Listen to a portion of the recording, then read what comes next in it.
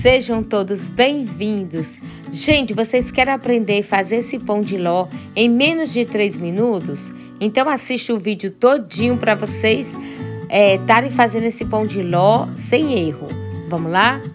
Nós vamos precisar de 6 ovos inteiros. Vamos bater até tirar o cheirinho do ovo. Quando dobrar de volume, nós vamos acrescentar é, 145 gramas de açúcar. Acrescentamos o açúcar aos poucos. Continuamos a bater na velocidade alta.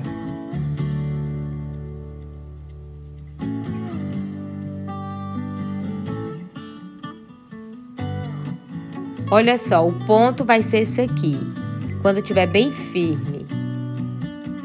Agora nós vamos precisar de 145 gramas de farinha de trigo e 145 gramas de chocolate. Chocolate bom, né, gente? Vamos acrescentar o chocolate na nossa massa aos poucos, gente.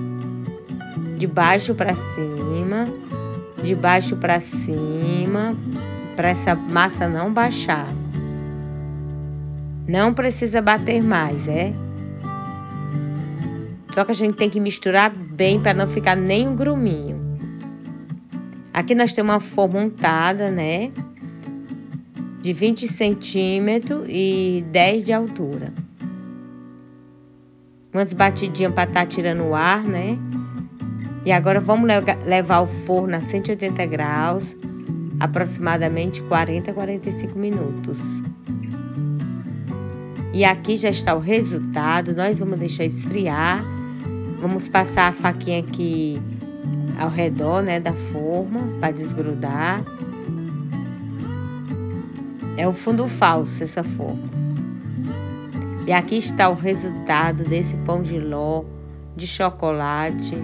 Vale a pena estar tá fazendo. Olha que gostosura, gente. Nossa. Bem fofinho. Eu acho que vocês aprenderam, né? Se eu fiz, consegui fazer, vocês também vão conseguir. É só assistir o vídeo todinho, não tem erro. Eu espero que vocês tenham gostado, né?